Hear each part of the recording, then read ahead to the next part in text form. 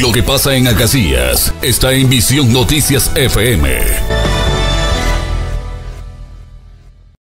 Háganos las imágenes porque esta es una buena, interesante. Ayer pasamos y en varios sectores de la ciudad pues habían eh, operarios de la ESPA, habían comerciantes y habían otras personas que estaban barriendo y estaban eh, eh, pintando. ¿Este recorrido por qué sector es?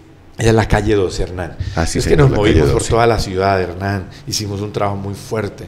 Eh, el- la calle 12, el separador. Oye, pero bonito, ¿no? Eh, aprovechar que al menos porque viene la cabalgata, pues se hiciera algo tan yo, sencillo. yo, yo menos enviar en cierta Ah, forma la cultura. gracias, sí, señor. Ahí están las imágenes en la plaza de mercado. Estos son operarios de la, de la, de la ESPA también, ellos ahí eh, mm, pues haciendo esa, esa labor, ¿no? Entonces, por eso digo yo que la ESPA, comerciantes, en fin. Pero yo estoy convencido que si a esto le metemos pueblo, le metemos ciudad, le metemos ciudadanía, le metemos comunidad, la gente lo va a ver con muy buenos ojos y va a participar. Sí. Le metemos colegios, le metemos educación, cultura. Y, y no va a ser solamente, eh, porque es que eso se acostumbró que era en Que no va a campaña. ser solamente, ¿qué?